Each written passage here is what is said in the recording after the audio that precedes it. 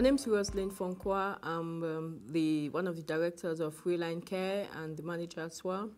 Reline Care is a home care agency. We provide domiciliary care to people in the community, in their houses, and we provide cleaning staff to um, various places, blitz cleans, and we also provide support workers to nursing homes, residential homes, and in the community.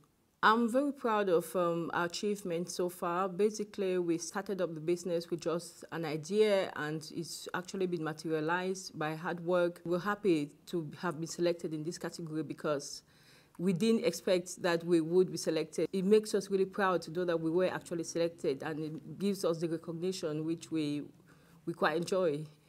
So winning would actually really be rewarding. It would be, we would feel that we've, our hard work has paid off